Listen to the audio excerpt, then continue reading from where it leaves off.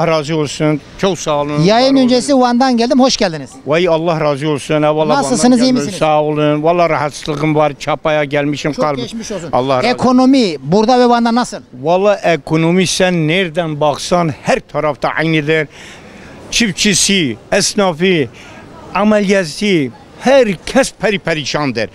Uçmuyor mu millet? Aho mu diyor? Eyvallah.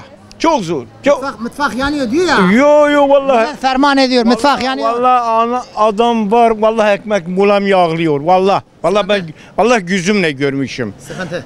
Yoktur. Bu pazar seçim olsa kime oy vereceksin? Vallahi bu pazarda ben daha 20 bin pazar öncede de buna vermemişim. Çünkü ben buna güvenmedim. Güvenmedim. 4-5 sene ilk olarak 4-5-6 sene herkesi adaletli düzgün tutuyordu. Dürüsttü. Biraz iyiydi yol. Hastahane bir numara yapıyordu. Sonra da bozuldu. Buna veren de vebal çekecek.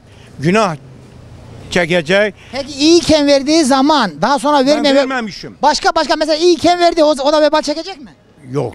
O çekmez. Çekmez. Peki. İyi zamanda iyi tamam. gitmiş. Hangi partiye vereceksin onu şimdi? Ben uyum doğrusu diyeyim.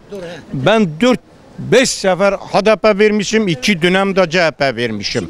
Cem bu oynara da bir sefer vermişim. Yarın seçim olsa kime vereceksin? Ben CHP veririm. CHP. CHP. Türkiye Cumhuriyeti'ni kim... Kim bin uyumda olsa tek elimle ben CHP veririm. Ben ona vermem. Tamam. Türkiye Cumhuriyeti kim kurmuş ne zaman kurmuş? Vallahi benim bildiğim, ben okul okumamışım. Bildiğime göre Gazi Mustafa Kemal kurmuş. Gazi Mustafa Kemal da erkek gibi erkekmiş, dürüstmüş. Yılını biliyor musun kuruluş yılını? Ne zaman kurulmuş Cumhuriyet? Vallahi ben okul okumamışım. İlk okula dahi gitmemişim. Bil- Bilmiyorum. Öyle öyle ya. Yok yok valla ben bilmiyorum. 1923'te ben söyleyeyim. He, Peki 23. efendim AK Parti'nin 23, He. e, o Lozan AK Parti'nin ülke yönetiminden memnun musunuz? Yok valla- yok valla memnun değilim.